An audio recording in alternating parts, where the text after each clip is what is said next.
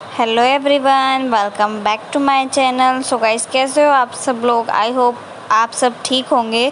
और आज मैं आपको बताने वाली हूँ जो आपके दांतों में कीड़े लग जाते हैं और वो जल्दी से छूटते नहीं हैं, फिर आपके दांतों में पेन होने लग जाता है तो वो आप अपने दांतों में से उन कीड़ों को कैसे रिमूव करें, वरना आपको डेंटिस्ट के पास जाना पड़ता है और वो आपके दांतों का दांत उसको निकालने ही पड़ते हैं। बट अगर आप इस नुस्खे को करोगे तो आपके दांत जो हैं, कुछ ही दिनों में एकदम कीड़ा मतलब उन पर कीड़े नहीं लगे रहेंगे। और आपके दांत एकदम वाइट बिल्कुल पहले की तरह जो है हो जाएँगे। सो चलिए वीडियो स्टार्ट करते हैं।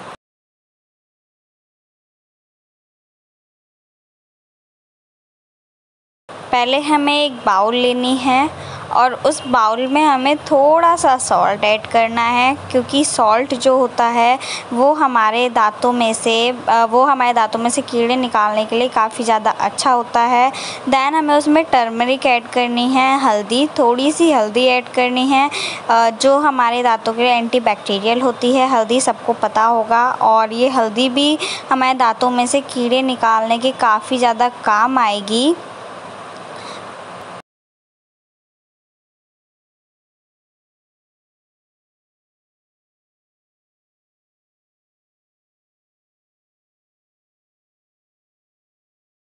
एंड देन आपको इसमें थोड़ा सा जो है सरसों का तेल ऐड करना है और इनको अच्छे से मिला लेना है। ये तीनों ही हमारे दांतों में से कीड़े रिमूव करने के बहुत ज़्यादा काम आएगा। आप लोग खुद, आप लोग खुद इसका रिज़ल्ट देखोगे। देन आपको क्या करना है? एक कॉटन लेनी है, जैसे कि यहाँ पे मैंने ये कॉटन ली है थोड़ी सी। और इस कॉटन पे इस लेप की थोड़ी सी दो तीन ड्रॉप डाल के जहाँ आपके दांतों में दर्द हो जहाँ आपके दांतों में कीड़े हैं वहाँ पे तो पाँच दस मिनट के लिए रख लेनी है और आपके दांतों में अगर पेन होगा तो वो भी बाहर आ जाएगा।